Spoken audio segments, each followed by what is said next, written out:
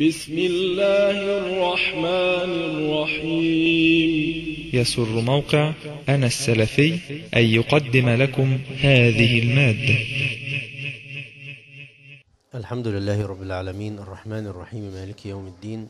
وأشهد أن لا إله إلا الله وحده لا شريك له. وأشهد أن محمدا عبده ورسوله صلى الله عليه وعلى آله وصحبه وسلم تسليما كثيرا.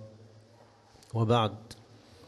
الطريق إلى الصلاة الخاشعة. لما كانت الصلاة هي أهم أعمال الدين وأهم شعائره وشرائعه بعد الشهادتين ولما كانت الصلاة الخاشعة هي الصلاة النافعة كان مما يشغل بال كل مسلم أن يحسن صلاته وأن يحسنها وأن يتقنها وأن يتممها وأن يكملها حتى ينتفع بها في الدنيا قبل الآخرة. فإن الصلاة التي تنهى عن الفحشاء والمنكر هي الصلاة الخاشعة. وإن الصلاة التي تكفر بها السيئات وترفع بها الدرجات على التمام والكمال هي الصلاة الخاشعة. وإن الصلاة التي يترتب عليها حسن الخلق وطيب المعشر هي الصلاة الخاشعة. وإن الصلاة التي تقرب العبد من خالقه سبحانه هي الصلاة الخاشعة. ولذا رأينا في سنة النبي صلى الله عليه وسلم أنه أتى ذات ليلة فدخل في فراشه ثم قال لعائشة دعيني أتعبد لربي. فقالت إني لأحب قربك وأحب طاعتك لربك. قالت ثم قام إلى القربة ولم يكثر صب الماء. ثم قام يصلي. تقول فبكى حتى بل لحيته صلى الله عليه وسلم. ثم سجد وبكى حتى بل الأرض. عش معي المشهد وتصور نبيك صلى الله عليه وسلم وقد غفر له ما تقدم من ذنبه. ومع هذا فهذا حاله في الصلاة. بكى حتى بل لحيته ثم بكى حتى بل الأرض. تقول ثم اضطجع على جنبه فبكى. حتى إذا أتى بلال يؤذنه بصلاة الصبح قال يا رسول الله ما يبكيك وقد غفر الله لك ما تقدم من ذنبك وما تأخر. فقال يا بلال وما يمنعني أن أبكي؟ وقد أنزل الله علي الليلة إن في خلق السماوات والأرض واختلاف الليل والنهار لآيات لأولي الألباب ويل لمن قرأها ثم لم يتفكر فيها. ويقوم صلى الله عليه وسلم حتى تتفطر قدماه. ويقول لما يسأل عن ذلك أفلا أكون عبدا شكورا؟ ولما أمر ولما أمر النبي صلى الله عليه وسلم بتقديم الصديق لإمامة الناس في أيام مرضه قالت عائشة معتذرة إن أبا بكر رجل أسيف يعني كثير البكاء يعني لا يملك نفسه إذا قرأ القرآن إلا ويبكي. وعمر رضي الله عنه كثيرا ما كان يقرأ بالناس ويبكي في صلاته حتى يسمع نشيجه مثل ما قرأ بهم سورة يوسف وسمع نشيجه وبكاؤه من وراء الصفوف. وعمر أيضا هو هو الذي ربما يعاد في منزله من آية قرأها. ربما يعاد في منزله من آية مر عليها وقرأها. وهذا الحسن ابن علي كان إذا دخل في الصلاة أو أراد أن يدخل فيها تغير لونه. فلما سئل عن ذلك قال واسمعوا لما قال. قال أتدرون بين يدي من أقوم؟ الآن تعرفين أنا حقف بين يدي من؟ تعظيم لله سبحانه. ولذا الذي يريد فعلا أن يحقق العبادة لابد أن يحسن التعرف على الله بأسمائه وصفاته. دروس الخشوع لا يمكن أبدا أن تختصر وتختزل في ثلاثة أو أربعة بل ربما تزيد عن الخمسين درسا. وهذا المجال في هذه الدورة لا يتسع أن نفصل وإنما نختصر اختصارا. إن العبد إذا أحسن التعرف على ربه سبحانه أحسن الوقوف بين يديه. وهذا عبد الله بن الزبير يسجد بجوار الكعبة فيأتي المنجنيق فيأخذ طائفة من ثوبه. ما المنجنيق؟ الحجارة التي ترمى في الحرب والقتال. يعني هو بمثابة الآن الدانة مثلا أو القذيفة التي تسقط. تخيل إنسان لو يسقط بجواره تسقط بجواره قذيفة وتأخذ بطرف ثيابه ومع ذلك لا يتحرك في صلاته لا يرفع رأسه. لماذا؟ لأنه مشغول. وعن وقيل عن حبيب بن أبي ثابت في وصف سجوده لو لو رأيته قلت ميت. إمتى أنت تبص الواحد تقول ده ميت ده ولا إيه؟ من إيه؟ من شدة ها؟ السكون والخشوع والخضوع. لو رأيته قلت ميت يعني من طول سجوده. وقال ابن وهب رأيت الثوري في الحرم الإمام سفيان الثوري. بعد المغرب صلى ثم سجد سجدة لم يرفع حتى نودي بالعشاء. يبقى مقدار السجدة منين لمنين؟ صلاة المغرب بعد صلاة المغرب إلى صلاة العشاء. هذه الأمثلة أحبة الشباب أحببت أن أقدم بها هذا اللقاء الثاني في دراسة وشرح وبيان معاني أقوال الصلاة كي نقتدي بهم وكي تكون لنا قدوة ونبراسا على الطريق. كنا في اللقاء الماضي انتهينا من الأذكار المتعلقة بالصلاة حتى ركن الركوع. وتناول أخونا الدكتور أحمد خليل حفظه الله في اللقاء السابق سورة الفاتحة وذكر بعض الإشارات التي تبين عظم هذه السورة المباركة. ولكن هذا أيضا ليس توفية لحق هذه السورة فسورة الفاتحة تحتاج لعشرات الدروس. فلذلك يعني خذ هذا الدرس نبراسا وابدأ أنت فتعرف على أسرار سورة الفاتحة. من أجمل ما سمعت في تفسير الفاتحة دروس لشيخنا الحبيب الشيخ ياسر حفظه الله في تفسير الفاتحة تزيد على العشرة دروس تفسير الفاتحة فقط. حوالي 12 درس أو 13 درس.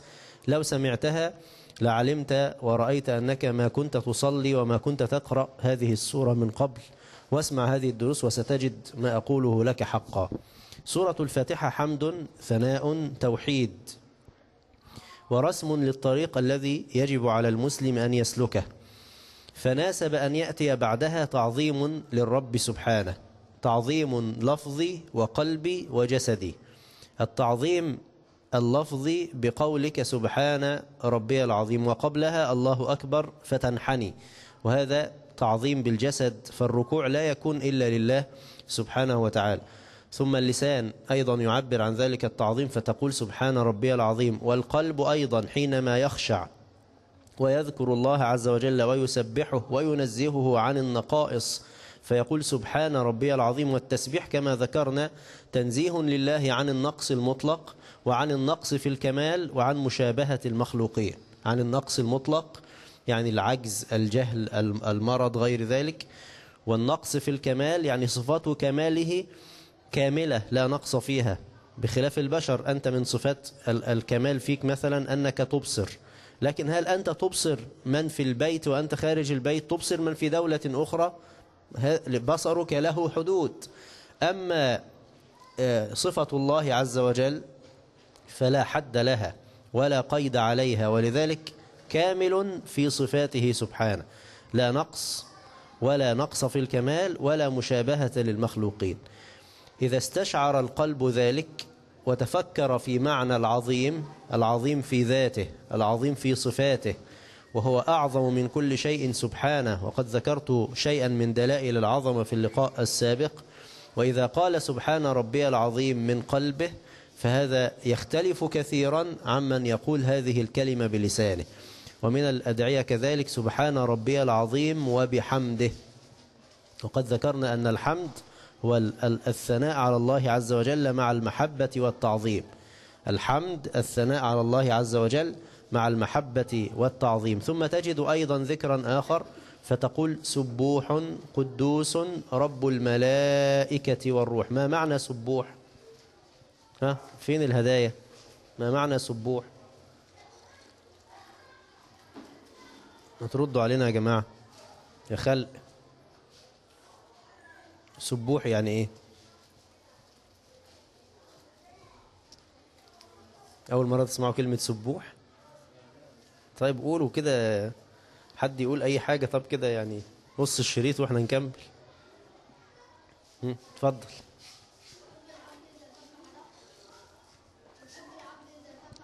لا. نعم. لا. المنزه. هاتوا هنا هاتوا هنا سبوح دي في اللغة العربية حتى الطلبة بتوعنا من أي المشتقات يسموها إيه؟ طب يعني إيه؟ يعني يا راجل يعني. نقط على الناس الغ- الغلابة دول بيسموها صيغة مبالغة. لما أقول فلان صابر لكن لو زاد في الصبر شوية فأقول صبور. أقول صبار. تنفع صبار؟ آه تنفع واخد بالك؟ يبقى إيه إيه الفرق بين صابر وصبور وصبار؟ ها اختلاف في درجة الايه؟ درجة الصبر. فسبوح صيغة مبالغة من سبحان تنزيه لله سبحانه وتعالى عن كل نقص. تنزيه لله سبحانه وتعالى عن كل نقص. والمبرأ من النقائص كلها سبحانه وتعالى.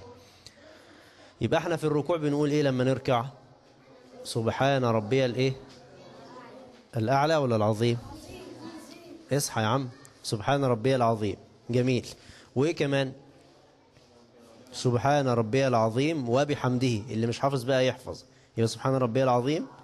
وتقول سبحان ربي العظيم وبحمده. وهذه أزيد لأنك وأنت تسبح تسبيحك من توفيقه. مغمور بحمده. وأنت تنزهه. هو الذي علمك. وهو الذي فهمك. وهو الذي أعانك فأنت تسبحه وتحمده على ذلك. ما سبحته إلا بتوفيقه. فاستحق الحمد. سبحان الله سبحان ربي العظيم وإيه؟ وبحمده. وتقول أيضا سبوح قدوس رب الملائكة والروح. سبوح عرفناه. حد بقى يقول لي يعني إيه؟ سبوح. لا هلم حاجتي واطلع بقى.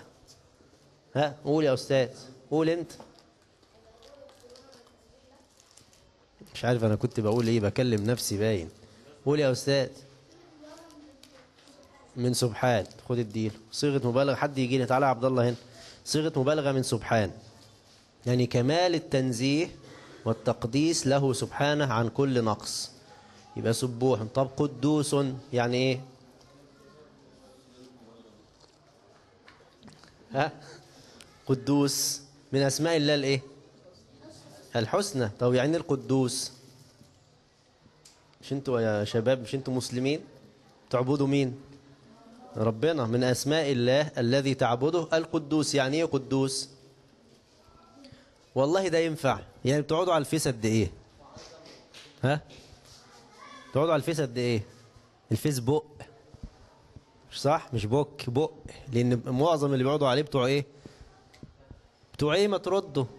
بتوع كلام. مش صح كده مش بتوع عمل ده الغالب يعني. بتقعد على الفيس قد إيه؟ قد إيه يا ابني؟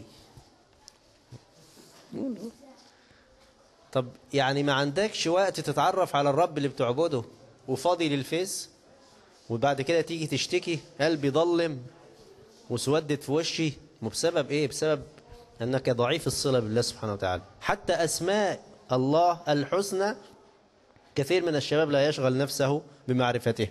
سألت بعض الشباب عن أسماء فريق الريال. مش اسمه كده؟ بس هو بيصلحوا لي. أنا ب... أنا راجل غلبان ما درستش الكلام ده. أنا أيامنا كان الأهلي والزمالك وخلاص. مش كده يا شيخ صادق؟ وشطة وحسن شحاتة و... صح؟ محمود الخطيب. مين تاني؟ يا نادي. كان مين تاني؟ طاهر أبو زيد مصطفى عبده. ما فيش كان اسكندراني ما عندناش.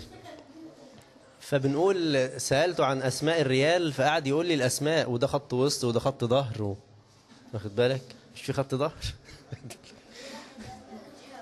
وبالايه بالإيه؟ بالإنجليزي يا أخوي. سبحان الله. طيب الشخص ده اللي حافظ الحاجات دي كده هل هو حافظ أسماء الله؟ يا أستاذ يوسف حافظ أسماء الله؟ طب واللي حافظها فاهمها؟ ما تيجي تبص كده في الشباب تجد مأساة كبيرة والله ولا حول ولا قوة إلا بالله. أنا مشفق جدا والله. أنا ما بقولكش ما تفرجش. بس أنا أسألك سؤال. أنت يوم القيامة لما تقف بين يدي الله سبحانه وتعالى هيسألك عن عمرك صح؟ وعن شبابك. كم ساعة صرفتها في الكورة؟ كم ساعة؟ لعب وإيه؟ وفرجة. كم ساعة؟ جميل. هتروح فين دي الساعات دي؟ تروح فين؟ أنا عايز أفهم. هتتحاسب عليها. طب هل قدها صرفت لدينك؟ أنت قد الساعات دي صرفت للدين؟ أنت لما تقابل النبي يوم القيامة صلى الله عليه وسلم هتقعد تقول له أسماء الريال وأسماء اسمه إيه الولد اللي خد الكرة الذهبية؟ ها؟ يا شباب يا شباب والله حاجة تكسف. اليهود لبسوكوا العمة. هم عايزين الشباب يوصلوا لكده إن يبقى شاب مقطوع الصلة بالدين عايز عارف بس بعض المعلومات عن الدين اللي تيجي تسأله في الدين ما يعرفش وده خطر من أخطر ما يكون. فأنا بقول لك حتى لو اتفرجت حتى لو قعدت على الفيس وعلى غيره اوعى تنسى دينك. يعني تعلم دينك تعلم تعرف على الله سبحانه وتعالى تعرف على نبيك صلى الله عليه وسلم تعرف على الإسلام. من أسماء الله القدوس يعني إيه القدوس؟ اللي عارف يرفع إيده. قدوس يعني إيه؟ أنا عايز الشباب. شباب المدارس يعني إيه اتفضل. ها؟ الإيه؟ المبارك مش المبارك المبارك. ماشي. من أسماء الله القدوس يعني المبارك أو الطاهر. يعني إيه؟ مطهر عن كل نقص سبحانه وتعالى. سبوح إيه؟ قولوا معاي سبوح قدوس رب الملائكة وإيه؟ والروح. إيه الروح بقى؟ جزاك الله خير. سيدنا جبريل. بعض العلماء يقول رب الملائكة والروح وبعضهم يقول لا الروح المراد به جبريل عليه السلام. كما في قوله تعالى تنزل الملائكة إيه؟ والروح فيها. واختصاص جبريل بالذكر لكونه أشرف وأعظم وأفضل الإيه؟ الملائكة. سبوح قدوس رب الملائكة والروح. بنقول إيه تاني في الركوع؟ سبحان ربي العظيم. وإيه كمان؟ سبحان ربي العظيم وبحمده. سبوح قدوس رب الملائكة والروح. وإيه كمان؟ سبحانك اللهم حاضر. ربنا وبحمدك اللهم اغفر لي. احفظ معايا أنت مش حافظ. سبحانك اللهم ربنا وبحمدك اللهم اغفر لي. قولوا سبحانك اللهم ربنا وبحمدك لا واطي كده. أنتوا خايفين تقولوا سبحانك اللهم ربنا وبحمدك اللهم اغفر لي. عرفنا سبحانك يعني إيه؟ تسبيح تنزيه الله عز وجل عن كل نقص وقلنا عن ثلاث حاجات. سبحانك اللهم ربنا وبحمدك يعني سبحتك بتوفيقك بهدايتك لي. من فضلك علي أنني سبحتك لا بحولي وقوتي. من أذن لك في تسبيحه هو. من أعانك على تسبيحه هو. من يفهمك تسبيحه هو. وهذا شكر واعتراف بنعمة الله عز وجل وتفويض إليه. سبحانك اللهم ربنا التذكير بمعنى الربوبية هو الذي خلقك وهو الذي يربيك بنعمه النعم الدينية من معرفتك به وإرسال الرسل وإنزال الكتب ونعم سائر النعم الأخرى. وكذلك هو الذي يحيي ويميت هو الذي يدبر الأمر هو الذي يأمر وينهى سبحانه. سبحانك اللهم ربنا وبحمدك ثم تسأل اللهم اغفر لي. وهذا هو الدعاء الوحيد في الركوع. لأننا نهينا عن الدعاء في الركوع. الدعاء بيبقى فين بس؟ في السجود. أما الركوع فعظموا فيه الإيه؟ الرب سبحانه وتعالى. لكن هذا لأنه ثبت عن النبي صلى الله عليه وسلم فنحن نقوله. من أدعية الركوع أيضا اللهم لك ركعت. وبك آمنت ولك أسلمت. خشع لك سمعي وبصري ومخي وعظمي وعصبي. وفي رواية وما استقل به قدمي.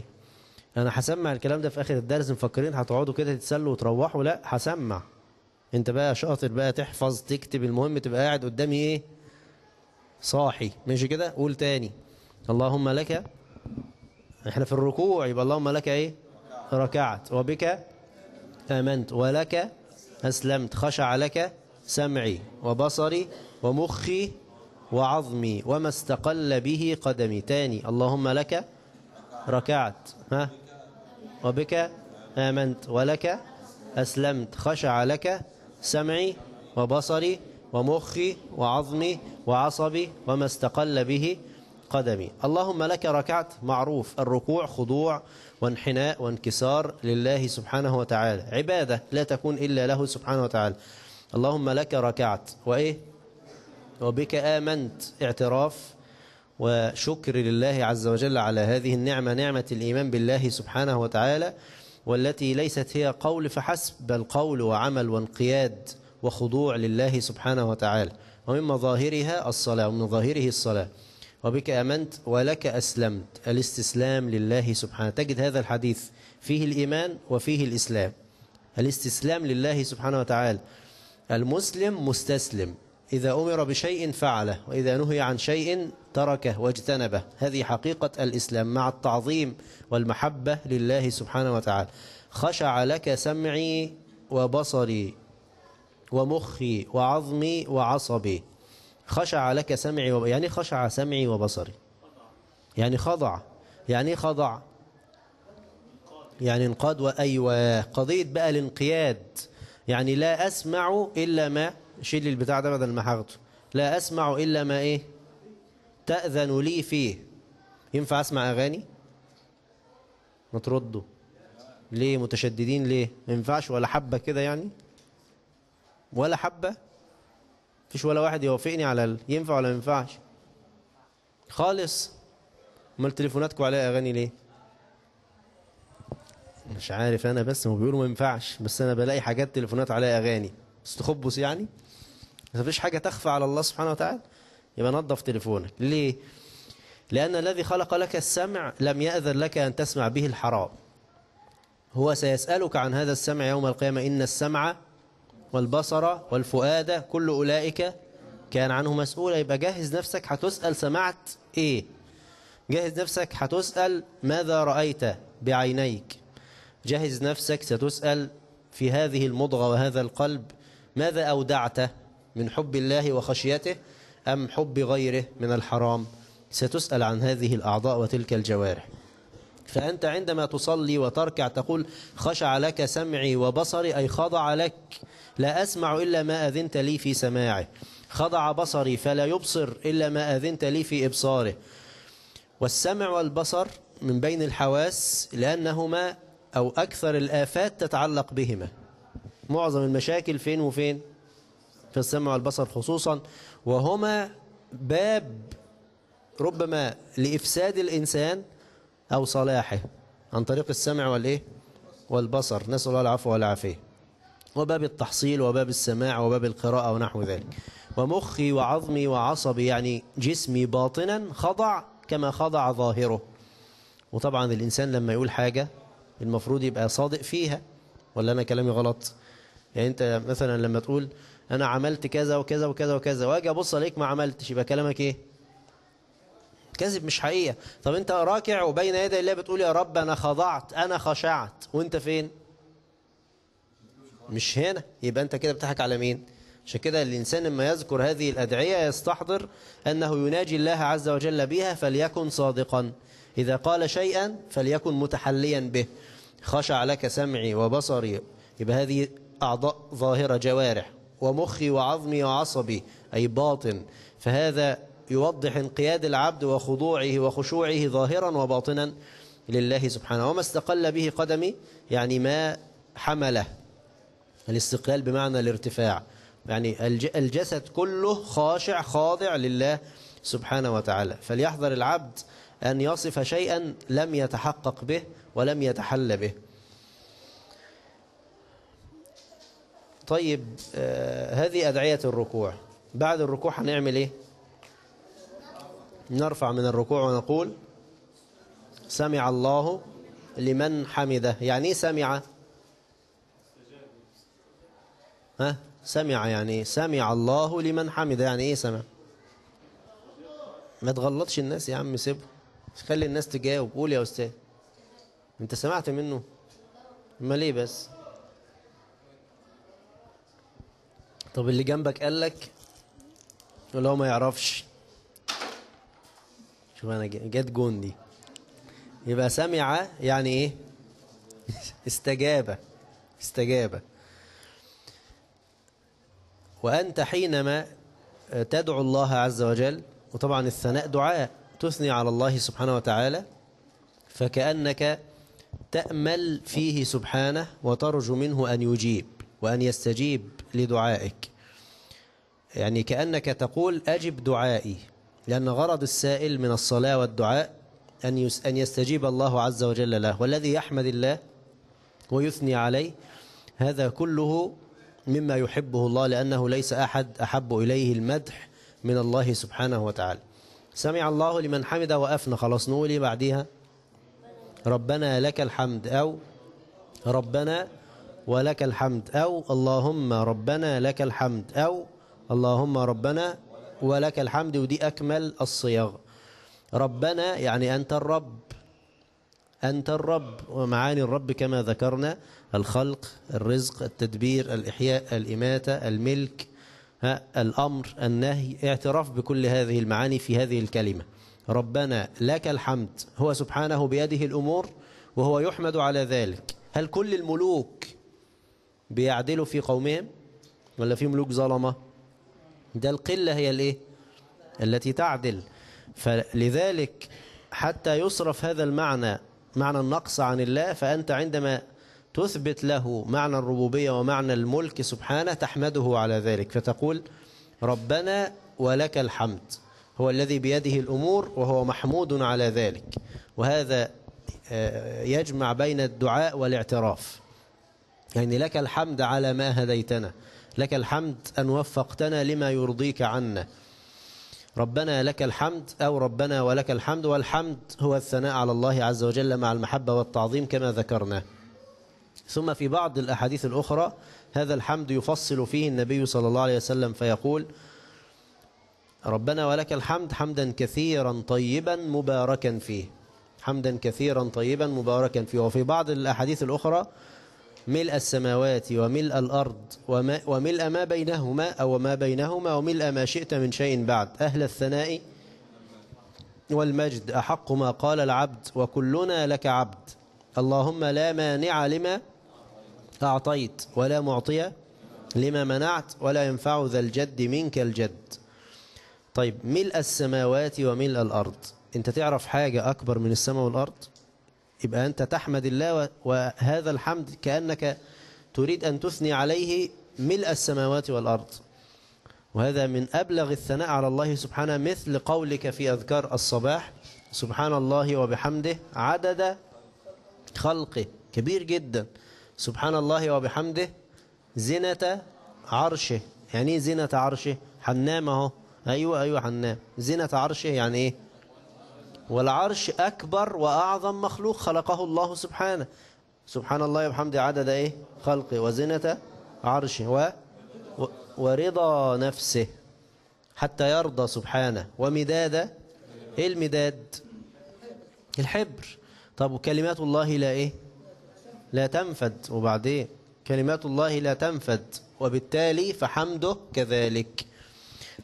سبحان الله وبحمده عدد خلقه ورضا نفسه وزنة عرشه ومداد كلمات. هذا من أبلغ وأعظم الثناء على الله عز وجل. وهنا كذلك ملء السماوات وملء الأرض. فالله محمود على كل شيء على كل مخلوق يخلقه وعلى كل فعل يفعله.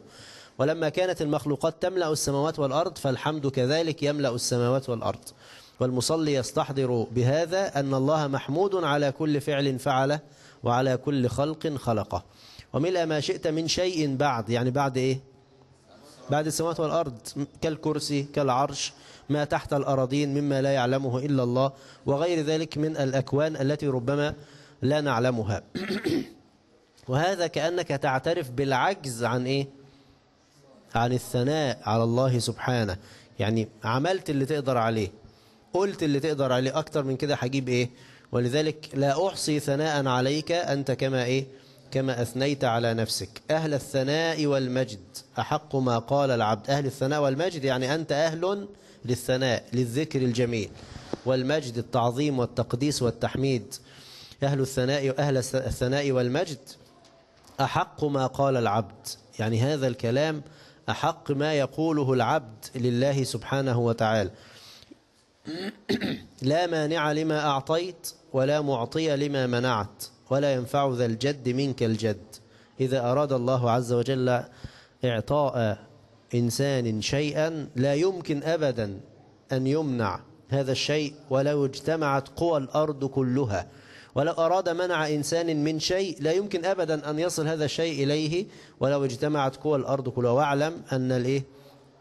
الأمة لو اجتمعت على أن ينفعوك بشيء لم ينفعوك إلا بشيء قد كتبه الله لك.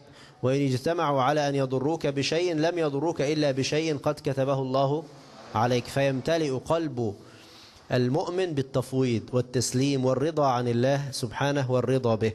ما يفتح الله للناس من رحمة فلا ممسك له وما يمسك فلا مرسل له من بعده فيتعلق قلب المسلم بالله سبحانه. خاصة حينما تسمع قول الله تعالى رجال لا تلهيهم تجارة ولا بيع عن إيه؟ يغلق المحل ويأتي يصلي. ربما الشيطان يوسوس له جارك وما بيصليش وربنا موسع عليه. وأنت طول ما أنت تقفل وتيجي تصلي هتفضل كده لورا. ياخد بالك؟ وتخسر والتجارة بتاعتك تبور. إيه يعني؟ مش لازم يعني مش كل ممكن صلاتين مع بعض وممكن لما تروح تصلي. الشيطان يريد أن يعني يأتي للإنسان من هذه الناحية. يسيب الشغل ويروح يصلي. طب ما الناس كلها هي أو معظم الناس أو كتير من الناس يوسوس يوسوس له في أمر الرزق لأن النفوس تخاف على هذا الجانب. فلذلك حينما تقرر هذا المعنى وأنت في الصلاة لا مانع لما أعطيت ولا معطية تلاقيه يقفل ويجي يلاقي الناس واقفة مستنياه. يقول والله أنا ما بحبش أشتري منك شيش من حد تاني. مثلا أو تلاقي مثلا البركة يبارك الله عز وجل له في رزق قليل وغيره ربما يرزق بالرزق الكثير ولكن لا بركة فيه. لا مانع لما أعطيت لأن الله أراد, أراد خيرا بهذا العبد فلن يمنع عنه أبدا ذلك الخير. والطاعة تزيد الرزق بركة. والطاعة لا تقلل الرزق بل تزيده لأن شكر الله عز وجل سبب للزيادة. هذا الدعاء أحق ما قاله العبد إما العبد يقصد به النبي صلى الله عليه وسلم أو جنس العباد. وفيه من الاعتراف بالعجز عن أداء حق الحمد لله عز وجل مهما فعل الإنسان لا يستطيع أبدا. وهذا دليل على فضيلة هذا الدعاء لأن النبي صلى الله عليه وسلم وصفه بأنه أحق ما قال العبد. فينبغي أن نحافظ عليه وألا نهمله وأن نجتهد في فهم معانيه. لا مانع لما أعطيت ولا معطي لما منعت كمل ولا ينفع. يعني إيه بقى قلناها المرة اللي فاتت؟ ذا الجد اللي هو إيه؟ الغنى والقوة والسلطان والعظمة. يعني لا ينفع صاحب الغنى من عذابك غناه. لا ينفعه عندك غناه وإنما ينفعه العمل بطاعتك. يبقى الذي ينفع يوم القيامة هو العمل الصالح. وكذلك في الدنيا صاحب الغنى وصاحب المال والسلطان أيضا لا ينتفع به إلا بأمر الله سبحانه لأن الله هو الذي أعطى وهو القادر على أن يأخذ ما إيه؟ ما أعطى. فكذلك لا يعتمد العبد على ماله ولا على سلطانه ولا على جاهه. وديكم بتشوفوا شوية الرئيس يبقى رئيس وشوية تلاقيه فين؟ في السجن. وتلاقي واحد تاني يبقى رئيس وتلاقيه شوية إيه؟ خلاص أنت ليك واسطة. هتوصل أعلى حاجة هتوصل لفين؟ توصل لرئيس انت وهو تحطه في السجن. يبقى اجعل توكلك على إيه؟ وتوكل على مين؟ الحي الذي لا يموت. وسبح بحمده سبحانه. ربنا ولك الحمد حمدا كثيرا طيبا مباركا فيه. يعني إيه طيبا؟ حمدا كثيرا طيبا. يعني إيه طيبا؟ قول ما تخافش. مش على الهوا مباشرة. مم. ها؟ عمر طيبا. يعني خالصا من الرياء والسمعة. إليه يصعد كلم الطيب والعمل الصالح إيه؟ يرفع. مباركا فيه بقى دي سهلة. يعني مباركا فيه؟ ها؟ البركة يعني إيه؟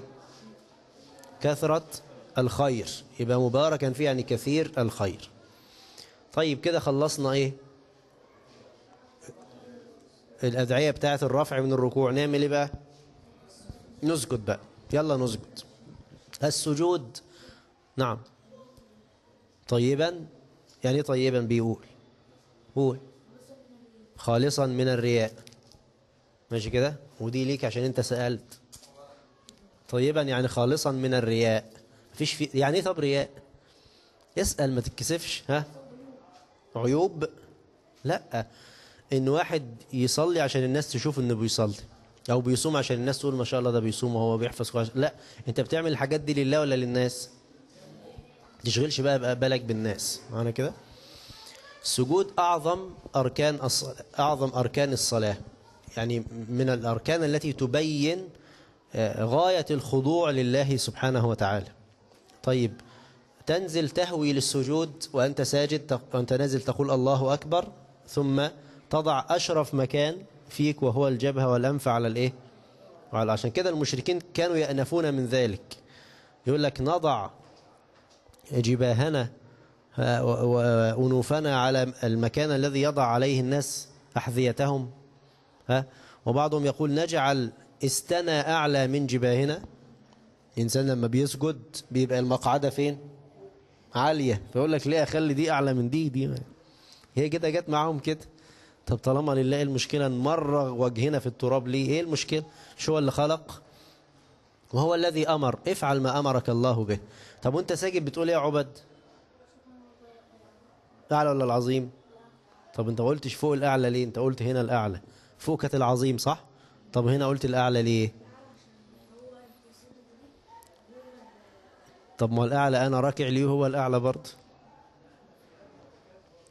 ها؟ سبحان ربي الأعلى ليه وانت, نا... وانت, نا... وانت تحت قوي كده. لماذا الثناء على الله بالعلو في السجود في حين أن الثناء عليه بالعظمة في الركوع؟ العلماء يقولون النزول هذا نقص ولما كان الله منزها عن النقص فناسب أن تثني عليه بالعلو فلا نقص في صفاته سبحانه. عشان كده لما تنزل أنت تثني على من لا نقص في صفاته أبدا. ثناء على الله بالعلو. المصلي لما نزل للسجود النزول ده نقص. معنى كده؟ فكان الثناء على الله بالعلو أولى لتنزيهه عن النقص اللي هو حصل لك وانت نازل كده على الأرض. طيب سبحان ربي الأعلى. يعني الأعلى؟ الأعلى يعني إيه؟ على العرش. ماشي. يبقى علو الذات. علو الذات وعلو القدر. ها علو الذات قول والصفات علو الذات وعلو القدر علو الصفات كل ده ثناء على الله سبحانه وتعالى. علي في ذاته أين الله يا شباب؟ شباب أين الله؟ في السماء. يعني إيه في السماء؟ على العرش. معنى كده؟ ولا في كل مكان؟ اقفل يا ابني بقك يا ابني. الله فين؟ استوى على أصل عندكم في المدرسة بيقولوا الله في كل مكان في تانية ابتدائي. ده في الكتاب أنا شفتها. تانية ابتدائي المدرسة حكومة ها كتاب الدين الله في كل مكان. لا هذه عقيدة غير صحيح الله في كل مكان بذاته. يبقى بسمعه ببصره بقدرته وإحاطته. آه وهو معكم أينما كنتم بإحاطته بقدرته بسمعه. ها صح كده؟ لكن بذاته. على العرش عشان كده أدلة القرآن كتيرة جدا حوالي يعني أدلة كثيرة جدا. وفي السنة تجد الرسول يسأل الجارية أين الله؟ ما قالتلوش في كل مكان. قال لها قالت إيه؟ في السماء. قالت في السماء. وشوف الحديث صحيح مسلم. وفي واضح إن ينفع نسأل واحد نقول له أين الله؟ يقول لك الناس السذج دول يسألوا الناس أين الله. طب ما الرسول سأل صلى الله عليه وسلم. والإجابة كانت واضحة جدا. أين الله؟ فين؟ خلاص انت يبقى سبحان ربي الأعلى علي في ذاته. علي في صفاته. مهما بلغ العبد من الكمال في الصفات لا يصل أبدا إلى صفات الله سبحانه وتعالى. أنت بتسمع صح؟ والله يسمع. ردوا علي ما بحبش أكلم أصنام. الله يسمع. جميل. سمعك كسمعه أنت دلوقتي مش بيتك ورا هنا؟ سامعهم في البيت بيقولوا إيه؟ طيب الله يسمعنا الآن. يبقى كيف سمع الله؟ الله أعلم بالكيف لكن سمع محيط ها؟ لا قيود لا حدود. يعني أنت لو استخبيت في يعني أقول لك فين؟ إنها إن تكن مثقال حبة من خردل فتكن في صخرة أو في السماوات. تخيلوا كده اصحى. تخيلوا كده حباية السمسم عارفينها؟ لو على المريخ.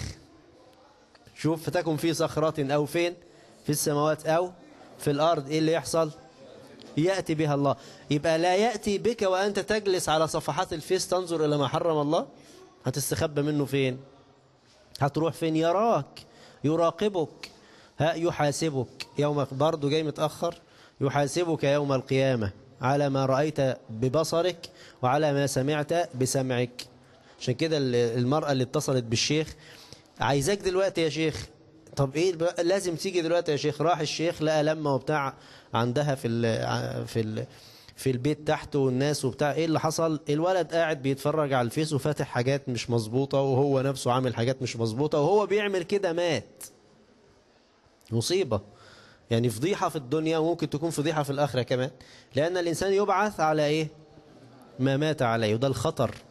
اللي انت ممكن تقول ما فيهاش حاجة عم كله بيبص وكله بيعمل وكله بيشير وكل ما أنا معاك. طيب ومش كفر أنا معاك بس لو الإنسان استمر على كده ممكن يوصل للكفر. ممكن وممكن يموت على المعصية. ولما يبعث يوم القيامة يبعث عليها على اللي مات عليه. يبقى شكله إيه بقى قدام الناس؟ تبقى فضيحة. يا رب استرنا في الدنيا والآخرة. عشان كده راقب راقب الله- سبحانه وتعالى. علي في صفاته صفاته ليست كصفاتك. سمع الله عز وجل واسع. لا قيود. سمع محيط. يعني انت دلوقتي لما بتيجي عارفين القنوات بتاعت بتاعت إيه؟ بتاعت الدش والراديو وغيره بتظبطها إزاي؟ صح؟ بتيجي منين يعني؟ من الهوا صح؟ يبقى الذبذبات دي موجودة فين؟ طب انت مش سامعها ليه؟ مش هي في الهوا؟ يا عم يا اللي في الهوا. مش هي الحاجات دي في الهوا؟ انت مش سامعها سامعها دلوقتي؟ سامع إذاعة الشباب والرياضة؟ إذاعة الأغاني مثلا؟ اذاعه سامعينها؟ مش سامعينها ليه؟ مش موجودة في الهوا؟ لأن ليها تردد معين ودننا ما إيه؟ ما تجيبهوش. زي الشم مثلا. أكتر حيوان بيشم إيه؟ الكلب. صح كده؟ يعني شمه أحسن من شمك؟ إيه أنت خايف مكسوف؟ طب ليه؟ هو, هو ربنا جعل له كده. لأن هيستعمل ده. معنى كده؟ لكن أنت شمك ليه حدود. معنى كده؟ سمعك ليه حدود. بصرك ليه حدود. وإلا لو كان الإنسان يسمع كل حاجة تبقى أنت ماشي في الشارع كده سامع كل الإذاعات في ودنك. هتعمل إيه؟ هتتجن. مش هت... مش هتقدر تكمل. صح كده؟ كذلك البصر. أنت تشوف اللي ورا مش في ناس ورا الجدار ده؟ جيران صح؟ أنت شايفهم؟ طب هل هذا يخفى على الله سبحانه وتعالى؟ ابدا وما تكون في شأن وما تتلو منه من قرآن ولا تعملون من عمل إلا كنا عليكم. حط لي آية كده عندك في في الأوضة بتاعتك. حط فيها إيه؟ الآيات دي. حط فيها كده الآية اللي بتقول إيه؟ ألم يعلم بأن الله يرى؟ قدام عينك كده عشان تذكرك بالله سبحانه وتعالى. الحاجات ديت بتخلي القلوب حاضرة فيها ال- ال- الخضوع لله سبحانه وتعالى. يبقى علي في ذاته علي في صفاته سبحانه وتعالى. سبحان ربي الايه وانتوا فين؟ وانتوا فين؟ في السجود. إيه كمان؟ سبحان ربي الاعلى وبحمده. وإيه كمان؟ سبوح. نفس اللي قلناه سبوح قدوس رب الملائكة والروح. يعني إيه بقى الروح؟ عايز أشوف بقى الناس اللي معايا. أيوه رفعت بالعافية. أنت قول. الحمد لله. إيدك وجعاك. قول. اديله يا عبد الله. حاضر يا شيخ حاضر استنى. يعني إيه الروح؟ يلا يا عم اتفضل. طيب يعني إيه سبوح؟ الناس بقى اللي ورا اللي نايمة دي هناك. ها اللي جنب مصطفى اللي بيبص جنبه. انت آه سبوح. أيوه امال أنا؟ مش انت حاضر معانا في الدرس برضو؟ مسجد الرحمة في العصافرة؟ النهارده 6 2 ولا 4 2 ولا 5 ها استنى يا شيخ اقعد بس عشان بيتصور. تطلع في الصورة. ما يلا يا دفعة. سبوح. طب هنا هنا اللي بيبص له. أيوه. قول أيوه أنت اللي جنب علي. إيه؟ أيوه جميل. صيغة مبالغه خد اديله عبد الله. سبوح. قدوس بقى. قدوس. ها؟ قدوس. الطاهر. إيه كمان؟ جميل. المبارك. يبقى الطاهر والمبارك. وأنت يعني هتشتغل ببلاش. يلا يا عم. طيب سبوح قدوس رب الملائكة وإيه؟ كمل كده. سبحانك اللهم ربنا وبحمدك. اللهم اغفر لي. وكمان اللهم هناك اللهم لك إيه يا أستاذ؟ اللهم لك سجدت ها وبك آمنت ولك أسلمت. ها سجد وجهي للذي خلقه وصوره فأحسن صوره وشق سمعه وبصره. تبارك الله أحسن الخالقين. تاني كده بقى. اللهم لك سجدت وبك آمنت ولك أسلمت. سجد وجهي الذي خلقه وصوره. يبقى هذا إثبات اسم الله الخالق واسم الله المصور وشق سمعه طريق السمع يعني. يعني بعض الناس مفكر إن الأفة دي عارفينها؟ هي السمع وخلاص. لا ده جوه في شغل كبير قوي طريق السمع ده. شق طريق السمع ده من شقه. الله عشان كده بتلاقي بتيجي مرحلة على الجنين تلاقي كل ده مقفل عينين ودان وبتاع.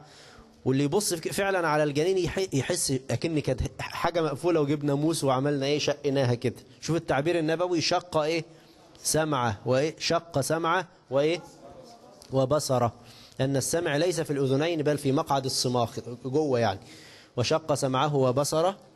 فتبارك الله إيه؟ أحسن الخالقين يعني أحسن المصورين والموجدين سبحانه. وهو منفرد بالخلق لأنه يخلق من العدم بخلاف خلق غيره. يعني الإنسان ال... نقول الإنسان اللي خلق الكاميرا دي ها؟ إيه الفرق بين خلقه وخلق الله؟ خلق الله من العدم. لكن خلق الإنسان عنده مواد خام وعمل منها إيه؟ لا يعني ممكن واحد يخلق حاجة من لا شيء. ما ينفعش. عنده مثلا طين بيعملها طوبة ويحرقها وتبقى طوبة عنده مثلا ورق بيعمل منه كراء وهكذا. يبقى خلق غير الله تحويل الشيء من صورة لإيه؟ من صورة لصورة. طيب.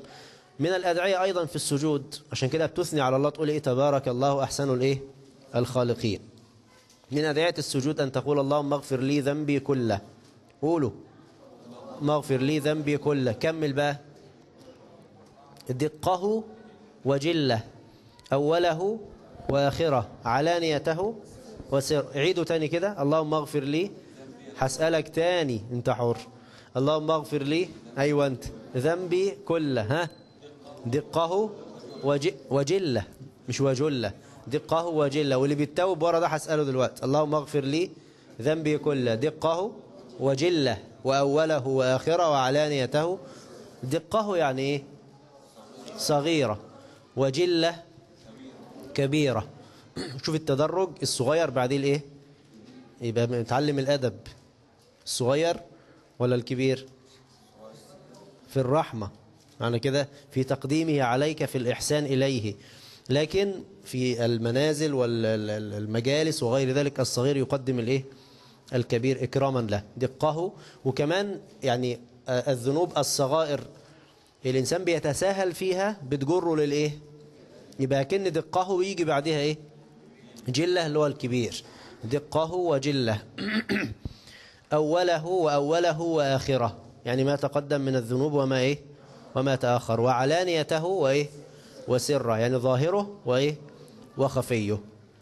طبعا ده بالنسبة لينا لأن الله عز وجل لا تخفى عليه إيه؟ خافية سبحانه وتعالى. وهذا تأكيد على طلب المغفرة من الله سبحانه وتعالى وألا يترك ذنب يا ابني خليك معاي. مش هينفع كده والله. وألا يترك ذنب أيوة أنت. إلا ويسأل العبد الرب أن يغفره له. اللهم اغفر لي ذنبي كله. كان ممكن ده وخلاص. لا فصل بقى. دقة وجلة. وأوله وآخره وعلانيته وسره. وعشان كمان الإنسان لما يكون بيحب واحد يحب يتكلم معاه كتير ولا قليل؟ وما تلك بيمينك يا موسى؟ ها هو كان إيه؟ سيدنا موسى كان معاه إيه؟ كان ممكن يقول عصايا وخلاص لا قال هي عصايا إيه؟ أتوكأ عليها. يعني أتوكأ؟ يتكئ أتوكأ عليها. و أهش بها على غنم يعني إيه؟ لا هو يرعى بها الغنم. استنى اسمع بس خلينا نسمع المواهب. أقول أهش بها على غنم. ألمهم كده هش هش. ها؟ أمشيهم يجمعهم. ها؟ ما اتنين بس اللي عارفين اللي بيحضروا معانا وادي واحد يبقى قال لك بقى طالما الشيخ صالح جنبك كيف قال لك. انت كده قفشنا على طول. ها عمر أهش بيها على غنم يعني إيه؟ هو الغنم بياكلوا إيه؟ الغنم بياكلوا إيه يا شباب؟ آه كان في برسيم عندهم في الصحراء. برسيم إيه؟ ماشي كده؟ طب ما فيش حشائش نعمل إيه؟ يبقى الشجر يجيب العصاية ويضرب بيها الشجر عشان الورق إيه؟ أو ده اهش بيها على غنم مش المهم يا عم الشيخ. وده بيخلي الإنسان ما يتكلمش في القرآن إلا ما يبقى إيه؟ عارف وقارئ في التفسير ان أنت هتقول أي حاجة وخلاص. لا ما ينفعش. واهش بها على غنمي. طب وإيه كمان؟ طب ما هو كان ممكن يقول هي عصاية وخلاص لكن يكلم من؟ إيه يا ابني؟ يكلم من؟ الله. كل دي يبقى يحب أن يطيل الحديث إيه؟ مع الله سبحانه عشان كده أنت تقول إيه؟ اللهم اغفر لي ذنبي كله. ما هو كله أهو. لا دقه وإيه؟ وجلة. وإيه؟ وأوله واخره وعلانيته. ويا سلام بقى لما تقعد تفكر فيها. لما تقعد تفكر بقى في الذنوب. فاكر الذنب ده؟ والذنب ده؟ والذنب ده؟ والذنب ده؟ والقلب كده يخشع كده والعين تدمع. معنى كده. ظلمت واحد ضربت واحد زقيت واحد خدت فلوس واحد كده. يبقى تستحضر ذلك فينكسر العبد لله فيكون أقرب للإجابة. حاضر. اللهم اغفر لي ذنبي كله دقه وجله أوله وأوله وآخره وعلانيته وسره. من الأذكار أيضا في السجود اللهم أعوذ برضاك من سخطك وبمعافاتك من عقوبتك عليكم السلام. وأعوذ بك منك لا أحصي ثناء عليك أنت كما أثنيت على نفسك. تاني كده يا شباب اللهم أعوذ برضاك من سخطك وبمعافاتك من عقوبتك. وإيه؟ وأعوذ بك منك لا أحصي ثناء عليك أنت كما أثنيت على يعني بقى اللهم إني أعوذ برضاك من سخطك. اللهم إني أعوذ برضاك من سخطك. هو الرضا. كيف يتحقق للعبد؟ بالطاعة والغضب كيف يتحقق؟ بالمعصية. يبقى كأنك تطلب منه أن يوفقك للطاعة فيرضى عنك بها وأن يجنبك المعصية لأنها سبب للإيه؟ للسخط. معنى كده؟ يبقى أنت تتوسل برضاء الله أن يعيذك من سخطه. تستجير من الشيء بضده. فالرضا وسيلة تتخلص بها من السخط. يبقى أسألك التوفيق لفعل الطاعات الموجبة لرضاك وأسألك الحفظ من المعاصي الموجبة لسخطك. تاني كده أسألك التوفيق إيه؟ لفعل الطاعات الموجبة لرضاك وأسألك الحفظ من المعاصي الموجبة ها لسخطك. طيب وبمعافاتك اقفل يا عم وبمعافاتك من عقوبتك. المعافاة أعظم النعم وأعظم الأدعية بعد الهداية إلى الصراط المستقيم. عشان كده من أعظم الأدعية سؤال العافية. العافية أن يعافى العبد من كل بلية في الدين وفي الدنيا. اللهم إني أعوذ برضاك من سخطك وبمعافاتك من عقوبتك. والعقوبة ضد الإيه؟ المعافاة وضد العافية والعقوبة لا تكون إلا بذنب. فإذا استعذت بمعافاة الله من عقوبته كأنك تستعيذ من الذنوب لتحصل عفو الله. يعني كده؟ أو بفضله سبحانه أن يعفو عنك ويغفر لك ويهديك إلى أسباب التوبة. وأعوذ بك منك. طب مش كل حاجة فاتت أعوذ برضاك من سخطك بمعافاتك من عقوبتك. طب هنا بقى فين الشيء وضده؟ أعوذ بك فين طب الضد مفيش بقى مفيش بقى هنا الضد. ليه؟ هل واحد هيستعيذ من الله بغيره؟ لا يستعيذ من الله بالله لأنه لا أحد يعيذ العبد من الله إلا مين؟ الله. إذا أراد بالعبد سوءا فدعا فربما يصرف عنه ذلك الإيه؟ السوء. لا أحصي ثناء عليك. يعني لا أطيقه لا أحتمله لا آتي عليه.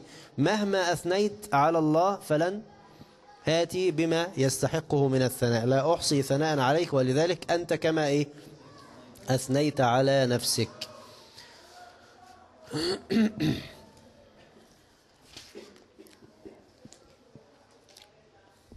وهذا الدعاء فيه إثبات صفات الله عز وجل كالرضا وأنه سبحانه وتعالى يرضى على من يشاء ويسخط على من يشاء سبحانه.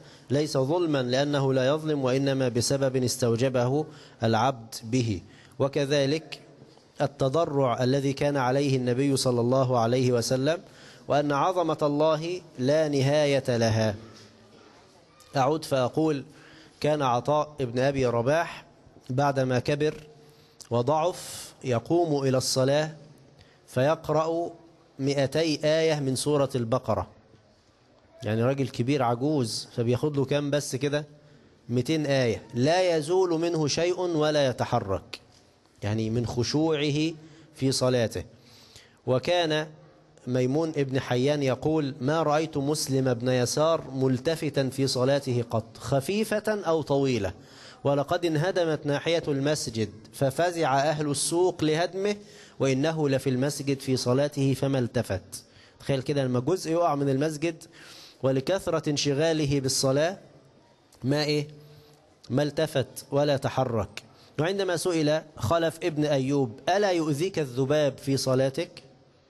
أنت بتصلي جات لك دبانة بتعمل فيها إيه؟ جات تاني.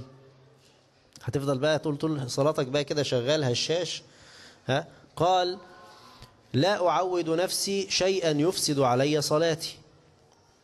يعني هفضل بقى كده ما, ما بقولش حرام بس أنا بقول لك يعني على الأقل يقلل من خشوعك أو من أجر الخشوع. فقيل له كيف تصبر على ذلك؟ قال بلغني أن الفساق يصبرون تحت أصوات السلطان. فيقال فلان صبور ويفتخرون بذلك. فأنا قائم بين يدي الله أتحرك لذباب. فهمتم؟ يعني ما يجيب واحد حرامي والسلطان يجيبه عشان يحاسبه يديله كام ضربة كده. وزي زيك انت بتبقى في المدرسة كده بقيت راجل بقى وطلع لك شنب وكده فالمدرس وقفك يضربك فتروح انت عامل له إيدك كده. واخد بالك؟ المدرس يضرب انت عامل له إيدك كده. واخد بالك؟ بتبين له اللي انت إيه يعني؟ ولا هممني. يروح مديلك في وشك وبتاع وبشلطين ثلاثة ساعتها انت بقى تصعب عليك نفسك وها مش كده؟ لكن أنا بقول لك الإنسان ده اللي بيجلد ده ولا بيضرب بي بي بيثبت نفسه كده عشان الناس تقول ده صبور ده ولد يعني ده إيه؟ ما اتحركش. فبيقول لهم ده هما بيتضربوا كده ويتجلدوا عشان الناس تقول عليه صبور. طب أنا لما أقف بين يدي الله سبحانه وتعالى افاتحرك كيف أتحرك؟ فكان يصبر رجاء رجاء الثواب من الله سبحانه وتعالى. وكان سعيد كان إبراهيم التيمي أو التميمي إذا سجد تجيء العصافير فتسقط على ظهره كأنه جذع أو حائط لا يتحرك منه شيء. يعني لك يقف في الصلاة كده أكنه زي جذع شجرة لا يتحرك منه شيء.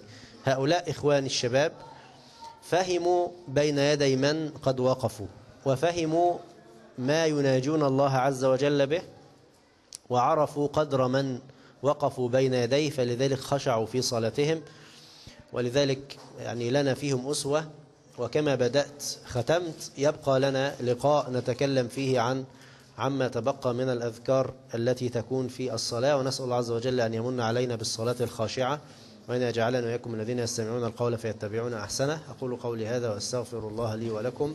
سبحانك اللهم ربنا وبحمدك أشهد أن لا إله إلا أنت أستغفرك وأتوب إليك.